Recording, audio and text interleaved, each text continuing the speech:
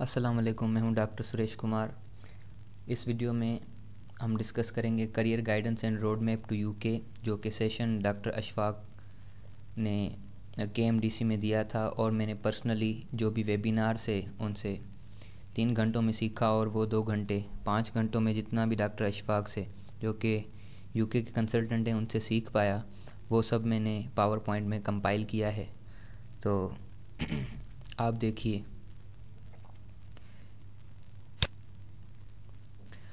हम सीखेंगे आज देखेंगे कि कुछ मेजर टर्म्स होती हैं, जैसे कि जीपी क्या होता है F R C S M R C P इनका मतलब क्या होता है?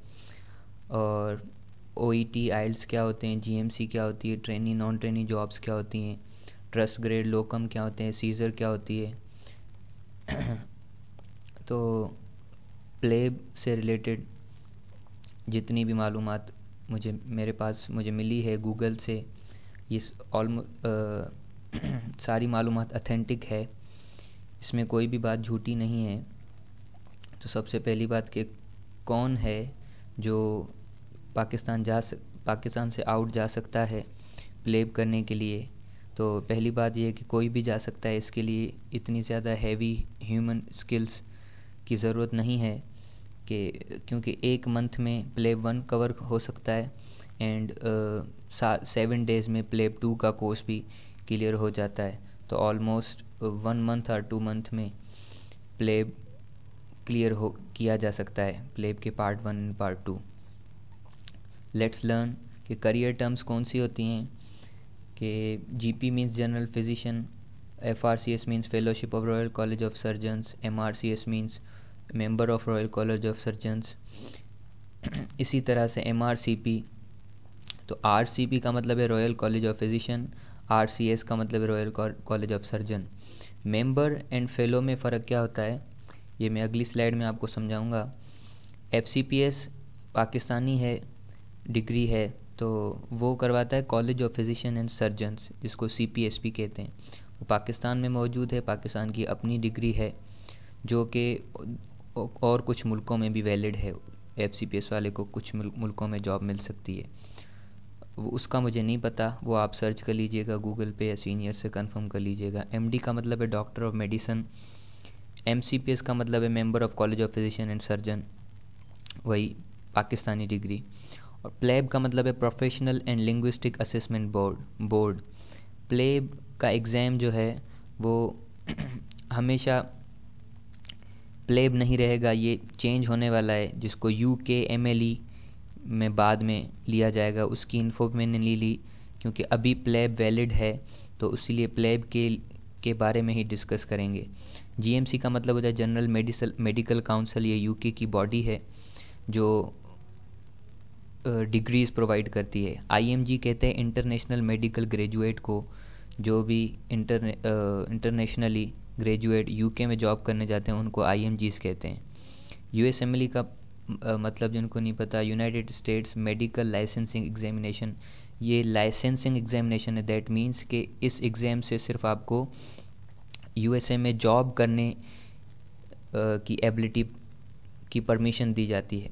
आइल्स का मतलब होता है international English language testing system and OET का मतलब होता है ऑक्यूपेशनल इंग्लिश टेस्ट तो इनकी डिटेल जितनी भी आपके लिए नीडेड है, वो आगे मैं आपको प्रोवाइड करूँगा। फ़ेलो का मतलब है फ़ेलो फ़ेलोशिप वाले exam for example F R C S F C P S ये जो भी फ़ेलो एफ़ से जो शुरू होते हैं, ये ट्रेनिंग करते हैं फ़ेलोज़ और ये कंसल्टेंट बन जाते हैं और इनकी वैल्यू मेंबर से ज़्यादा होती है। जो एम वाले होते हैं M R C P M C P S इनकी वैल्यू फ़ेलो वाले से कम होती है। और मेंबर आगे जाके फेलो बन जाता है। इतनी ही इन्फो मेरे पास है। ट्रेनी प्रोफेशन उसको कहते हैं। अभी ट्रेनी जॉब्स होती हैं यूके में। प्लेब जो भी करके जाता है, उसकी जॉब नॉन ट्रेनी लगती है। नॉन ट्रेनी का मतलब ये है कि वो अगर यूके में काम कर रहा है तो जितने भी ईयर्स वो काम करेगा नॉन ट्रेनी जॉब के अंडर में, वो ईयर्स उसके काउंट नहीं होंगे। उसके करियर में काउंट नहीं होंगे। वो भले दस साल जॉब कर ले, वो दस साल के बाद कंसल्टेंट नहीं बनेगा।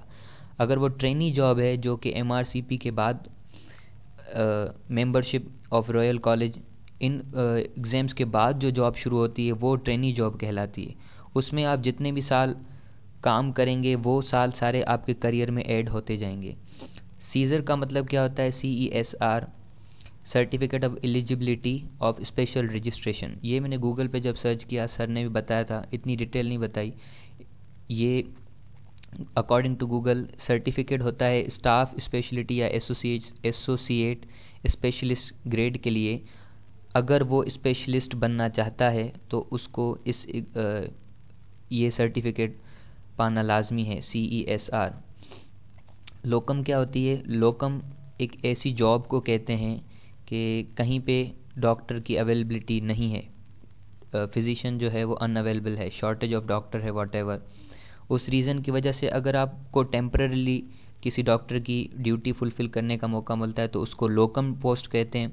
ट्रस्ट ग्रेड क्या होती है? ट्रस्ट का डॉक्टर वो होता है कि एनएचएस जो जिसका मतलब है नेशनल हेल्थ सर्विस ये भी यूके की एक बॉडी है जो नॉन ट्रेनिंग पोस्ट पे फॉर एग्ज़ाम्पल हमने प्लेब क्लियर कर लिया तो हमारी जॉब एनएचएस वाले लगाएँगे कि नॉन ट्रेनिंग पोस्ट हमें कहाँ पे मिलनी है। तो वो कहीं ऐसी जगह भी जॉब मतलब for example national health service ये एक ट्रस्ट है तो इसके अंडर में जब हम जॉब करेंगे तो वो ट्रस्ट ग्रेड जॉब कहलाएगी।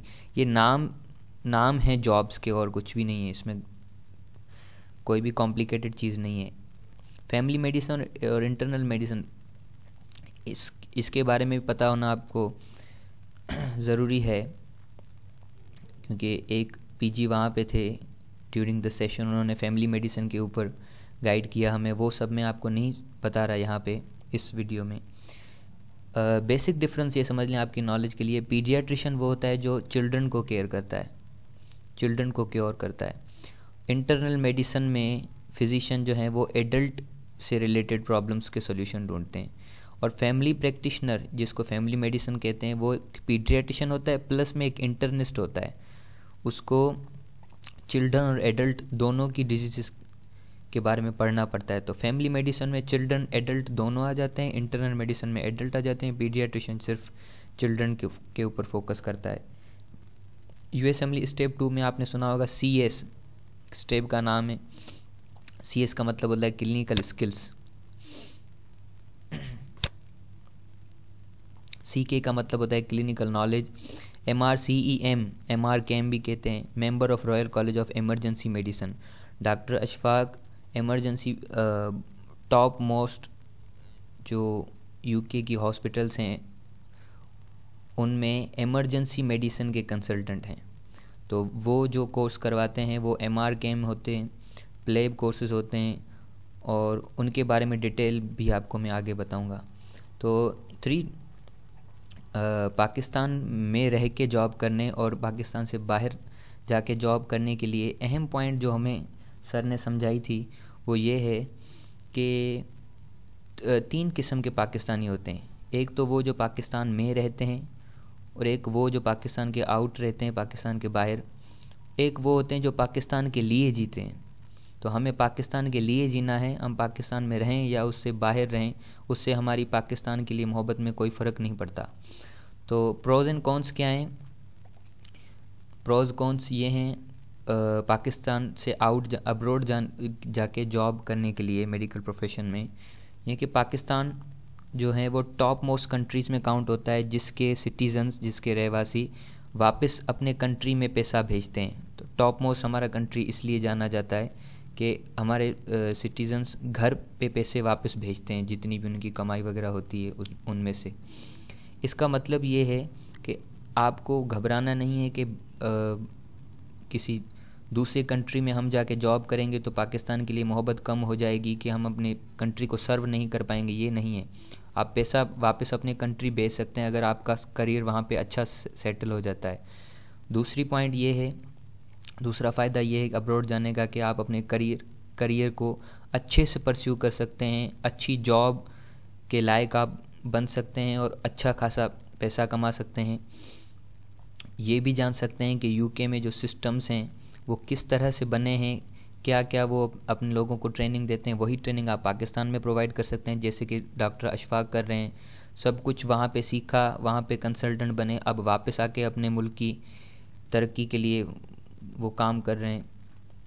और फ़ायदा एक ये है कि आप अगर जॉब छोड़ते हैं तो पीछे लेस स्किल्ड डॉक्टर जो यूके नहीं जा पा रहा, जिस, जिसको बहुत सारा डर है, जो अपने आप में कॉन्फिडेंट नहीं है, आप उसके लिए पीछे जॉब छोड़ के जा रहे हैं, क्योंकि ओवरऑल तो पाकिस्तान में कितने डॉक्टर्स बनते हैं, इसकी डेटा आगे है। पाकिस्तान में बीस हज़ार डॉक्टर पर हर ईयर बनते हैं, जिसमें से चौदह हज़ार हमारी लोकल यूनिवर्सिटी से होते हैं और छः हज़ार डॉक्टर्स जो डॉक्टर्स जो हैं, वो चाइना से डिग्री लेके आते हैं, पाकिस्तानी स्टूडेंट्स और जो कौनस क्या हैं कि आप फैमिली से दूर ज़रूर होंगे और एक अलग जगह पे सेटल होना थोड़ा मुश्किल होता है और मौसम की बात होती है या फिर सबसे बड़ी जो इम्पोर्टेंट बात है जो 90 परसेंट डॉक्टर्स को फ़ॉरेन जाने से रोकती है, वो है उनका English culture English language English से बहुत अनकम्फर्टेबल अनकम्फर्टेबल हो जाते हैं हमारे डॉक्टर्स तो इस बात की अब परवाह नहीं है, क्योंकि आइल्स तो वाकई शेक्सपियर की लेवल की इंग्लिश पढ़नी पड़ती है उसमें. पर अब जो ओ e आ गई है, जिसको ऑक्यूपेशनल इंग्लिश टेस्ट टेस्ट कहते हैं, उसने बहुत सारी सहूलतें पैदा कर ली हैं. ओ e क्या है? एक एग्ज़ाम है आइल्स की तरह ही, जिसमें देखें लिसनिंग रीडिंग राइटिंग स्पीकिंग ये चारों चीज़ें जो आइल्स में चेक होती थी, यही ओ e में होती हैं, जिसमें specially communication in medical and health professional की जो लैंग्वेज है, उस पर फोकस किया जाता है।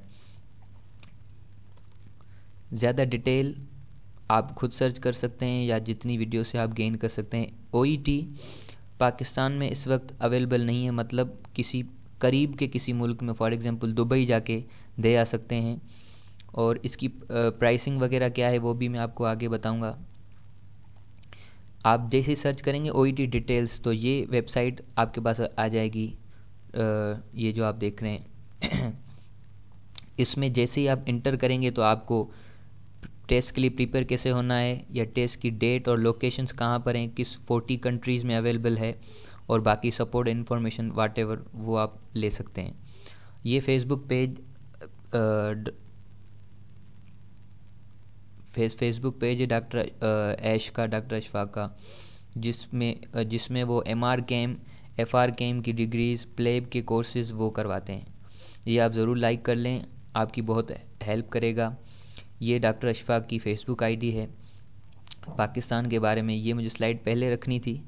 सर ने बताया था कि ओवरऑल ग्लोबल सिचुएशन पे हमें फोकस करना चाहिए कि ट्रंप की क्या पॉलिसीज़ हैं।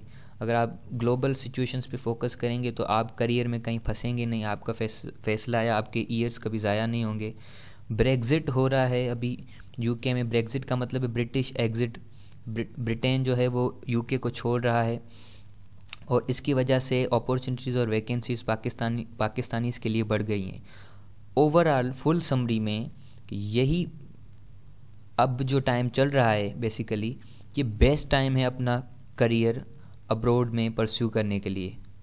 अब आ, मतलब अब्रोड जाके जॉब करने के लिए। की पॉइंट्स क्या हैं?